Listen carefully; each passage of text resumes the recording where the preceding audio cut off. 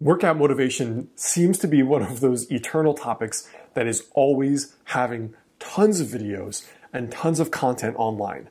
Because, I mean, obviously, if you know that you want to reach a certain level of feeling and way you look, but you can't get yourself to do it every day, well, then how are you going to have that dream body or that dream level of health and vitality that you want? So, because discipline and getting inspired are evergreen topics, I'm going to share what my current process is for staying motivated and inspired to work out. Hey guys, Alex Heyne, author of the book on habits, Master the Day. So I've included down below this video, the first link is for a weekly email crash course on the simple daily rituals you can use to lose your next 20 pounds. So you can check it out right below this video. You'll also get an email every couple days on how exactly to go about doing that. Now, the big problem as I see it in the fitness space is that when it comes to losing weight or staying disciplined, you usually only hear two things, right? You hear the first, which is take it easy, be gentle with yourself, just do what you really enjoy and focus on your self care. and on the other side, you hear the basically stop being a little baby, get up at 4:56 a.m. and do your goddamn deadlifts every day and shut your mouth. But the problem is, neither of those are really reality. Because most people, even really successful people, even really fit people, do not get up at 4:56 a.m. to do their damn deadlifts. Right? They find a time that works and they do it. And for other people, this infinite compassion thing is great, but what if you don't feel like doing it ever? You're just gonna gain the 30 pounds or just get sick because you just keep eating sugar? I think the most important thing is to find the process for the in betweens. And that's what I wanna share here. So this FRC habit is really the main way I approach discipline and getting motivated these days. Because it's easy to know what to do at the extremes, right? Like if you are successfully doing the discipline and grit thing every day, then that's a piece of cake. And if you are doing the infinite Buddha of compassion, move at your own pace thing, then that's great too. But the problem is, what happens if you're sleeping five hours a night because you have a new baby and you're having a lot of stress at work and you're having problems in your relationship? Like, then what? Is this just shit city or is there another solution? So enter the FRC technique. It's based off of this quote from Martin Luther King, and it says, If you can't fly, then run. If you can't run, then walk. If you can't walk, then crawl. But whatever you do, you have to keep moving forward. So I basically came up with like, you know, like a three part strategy or three part system based on where I am on the spectrum per day.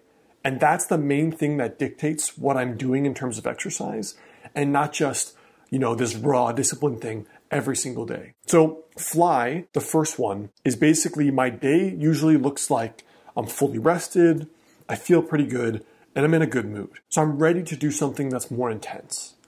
When it comes to run, my day is usually moderate energy, kind of your average day. I'm kind of meh or a little bit tired by the end of the day and not like super jazzed up. And when it comes to crawl, the crawl days are when my energy is super low, like less than a 3 out of 10. I may be feeling depressed or anxious. It's just bland. Maybe I only slept for a few hours or there's like really something big going on in my life. Or it's a phase of my life that's just really, really, really rock bottom motivation. So this is really different from this idea of just being massively disciplined, which is great. I mean, if that's working for you, keep doing it.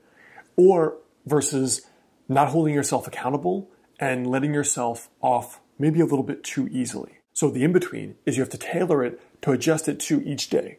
Just like hopefully you would adjust your diet to based on whether or not you're hungry or how you're going to be in your relationship based on the stress and the demands. You just do your best that you can for that day. Same as if you're a parent, same as if you're an entrepreneur. You cannot actually physically go just as hard every single day because it's just not how you feel every single day. So what does the FRC habit look like in terms of what I actually do daily? So on the days where it's fly, right, I'm feeling great. I'm feeling like at least a 7 out of 10 or above. On those days, my workouts are typical high effort, high intensity weightlifting or high intensity workouts like HIIT training, like a 20 minute really intense yoga workout or a 20 minute really intense circuit training or HIIT training, Tabata training even. These days, I very rarely do high intensity, but mostly it just means because my default workout is lifting weights, I just go harder essentially. I'm willing to push those last few reps. I'm willing to push myself a little bit closer to exhaustion and sweat heavier than the other days that I have on this spectrum or this game plan. That can also involve things like going for a longer duration, like over an hour. It can involve things like playing a soccer match, which is usually pretty tiring for me, and so on and so forth. Now, the second level run, which is usually most of my average days, often fall in that spectrum, right? So run meaning it's middle. It's like meh, like I'm tired. I only slept six and a half hours. I got off work and I'm just like, oh, whatever. Like I, I'm, let me sit on the couch for a sec. Let me get a snack for a sec. Right? So it's kind of in the middle, going towards the lower end. And the philosophy, the mindset that I use to stay motivated is I'm not going here to work out.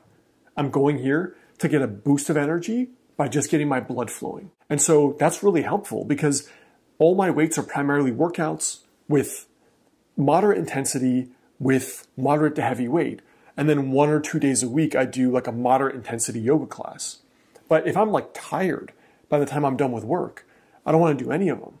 And so the mindset of I'm not going to work out, all I'm doing is I'm going to get a boost of energy for the rest of the day. My second wind is going to be all about just getting circulation going. And then I'm just going to get the blood flowing. I'm going to get woken up. I'm going to feel good. It's like my 6 p.m. cup of coffee, for example. And that mindset is usually enough to get myself back into the gym when I've been really, really, really avoiding it. Now, the crawl, ultimately, I mean, frequently what we're talking about is the crawl, right? Because if it were easy to get yourself motivated, you probably would not be watching this.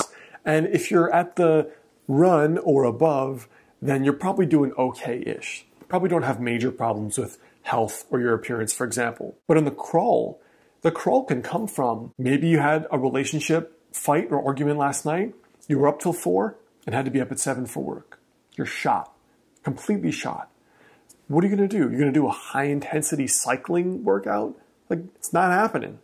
Not happening. Way more likely to have a high intensity ice cream eating workout. So, what do you do though? I mean, if it's a one off thing, that's fine. But what happens if you're in a phase of life that's like that? What happens if you just have a new baby and you're up all throughout the night for a year, two years? I know parents like that. What happens if it's a life crisis and somebody you know dies, or you're the caretaker for an aging parent or someone that's in hospice care, and every day you're just barely trying to get through the day? Then what? You can't not exercise for two years. You can't not exercise for an indefinite period of time. So what are you going to do? Now, in those crawl phases, obviously, those are the most important because the motivation and energy are the lowest. It's like, what do you do on the days where you don't want to do anything? That determines what your life becomes and who you are. Because on the days where you feel good and life is great, of course it's easy to stay motivated. Of course it's so easy to stay motivated because you feel good, you feel well. So on the crawl days, I reduce it to something so simple. The crawl days involve going for an hour walk with a podcast or walking the dogs in the woods. Kid you not? That is as literally as simple as it is. Because literally, if you are too exhausted to do anything, to even engage in your life, then going for a walk, ironically, it's so easy to get started, but after like 40 minutes, you feel really good. Like you feel really, really energized. You have way more energy. You feel so much better from that. So just by doing that, you're still keeping yourself in the loop and you're doing what you know you need to do to feel well. And afterwards, you will feel well even if you're going through the toughest phase of your life or you just had a really bad night. So I hope that helps you guys. I know this is an evergreen problem and a very, very important topic. Before you go, again, check the first link out there below. It's for a free lose your next 10 pounds, 10 to 20 pounds crash course. You'll also get an email every couple days that's gonna help you do that, all right? And then before you go, I have two related videos right on this over here.